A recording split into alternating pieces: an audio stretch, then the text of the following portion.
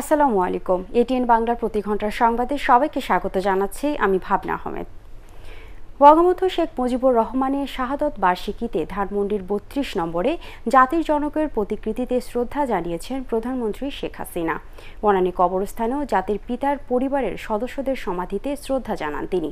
এদিকে বঙ্গবন্ধুর পাঁচ খুনিকে দেশে ফিরিয়ে এনে মৃত্যুদণ্ড কার্যকরের রাজনৈতিক ও কূটনৈতিক প্রচেষ্টা জোরদারের কথা জানান আওয়ামী লীগ সাধারণ সম্পাদক ওবায়দুল কাদের। বিস্তারিত আপেল মাহমুদের রিপোর্টে।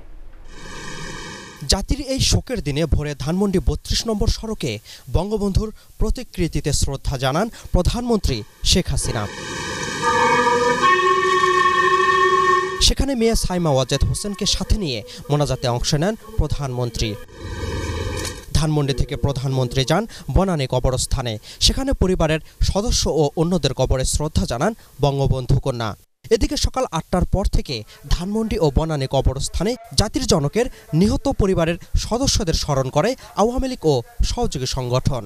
অসাম্প্রদায়িক দেশ গড়তে, বঙ্গবন্ধুর আদর্শ ধারণ করতে নেতাকর্মীদের আহ্বান জানান সাধারণ সম্পাদক ওবায়দুল কাদের। জাতিকে আশ্বস্ত করতে চাই বঙ্গবন্ধুর বাকি পাঁচ খুনিকে স্বদেশে ফিরিয়ে এনে মৃত্যুদণ্ড কার্যকর করার প্রয়াস এবং কূটনৈতিক প্রচেষ্টা আরও জোরদার করা হয়েছে। শোকের দিনে ভুয়া জন্মদিন পালন না করে বিএনপি নেত্রী জাতিকে বিভ্রান্তিকর অবস্থা থেকে মুক্তি দিয়েছেন বলেও মন্তব্য করেন আওয়ামী লীগ সাধারণ সম্পাদক। জাতি অনেক স্বস্তি পাবে এবং তারা বিব্রতকর একটা অবস্থা থেকে জাতিকে স্বস্তি দিলেন তাদেরও শুভ বুদ্ধির উদয় হলে সেটার জন্য ধন্যবাদ ক্ষমা এদিকে টুঙ্গিপাড়ায় বঙ্গবন্ধু শেখ মুজিবুর রহমানের সমাধিতে প্রধানমন্ত্রী শেখ হাসিনার পক্ষে শ্রদ্ধা জানান তার সামরিক সচিব major general Nakib Ahmad Chowdhury. Apel Mahmud ATN Bangla Dhaka. Corona virus ও উপসর্গে দেশের বিভিন্ন স্থানে এখন পর্যন্ত একুশ জনের মৃত্যুর খবর পাওয়া গেছে। কুমিল্লা মেডিকেল কলেজ হাসপাতালে করোনা ও উপসর্গে ছয় জন মারা গেছেন। নতুন করোনা শনাক্ত হয়েছেন উনপঞ্চাশ জন। চট্টগ্রামে করোনায় চার জনের মৃত্যু হয়েছে। নতুন আক্রান্ত আরও একশো জন। খুলনা ও নোয়াখালীতে মারা গেছেন তিনজন করে। সিলেটে গত চব্বিশ ঘন্টায় করোনায় দুজনের মৃত্যু হয়েছে। নতুন শনাক্ত হয়েছেন আরও একানব্বই জন। নারায়ণগঞ্জে করোনায় মারা গেছেন জেলা জাতীয় পার্টির আহ্বায়ক ও জেলা পরিষদের সদস্য আবু জাহের মেহেরপুর ও বগুড়ায় করোনা আক্রান্ত হয়ে একজন করে মারা গেছেন। এছাড়া সবশেষ চব্বিশ ঘন্টায় বরিশালে একাশি জন, রংপুরে চুয়াত্তর জন, শেরপুরে এগারো এবং ময়মনসিংহে উনিশ জনের শরীরে করোনা শনাক্ত হয়েছে।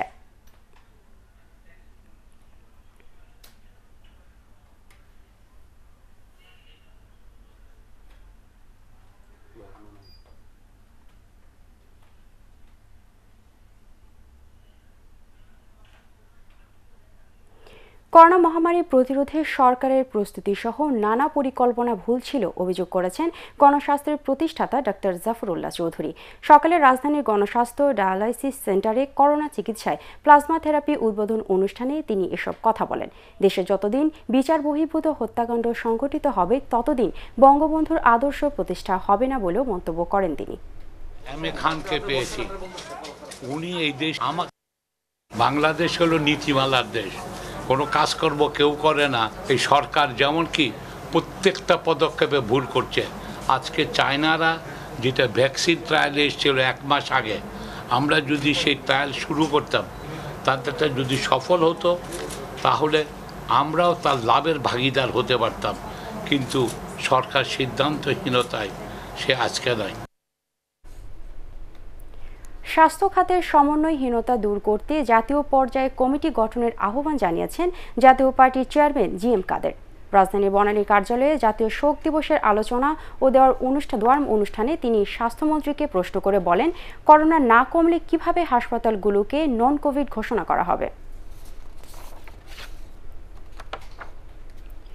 করোনা আক্রান্ত হয়ে মারা গেছেন একুশে পদক ও স্বাধীনতা পুরস্কার প্রাপ্ত খ্যাতিমান চিত্রশিল্পী মুর্তুজা বশির। সকাল নয়টায় রাজধানীর একটি হাসপাতালে তার মৃত্যু হয়। বহু ভাষাবিদ ডক্টর মোহাম্মদ শহীদুল্লাহর ছেলে আটাশি বছর বয়সী বরেণ্য এই শিল্পীর মৃত্যুতে গভীর শোক জানিয়েছেন। রাষ্ট্রপতি মোহাম্মদ আব্দুল হামিদ ও প্রধানমন্ত্রী শেখ হাসিনা।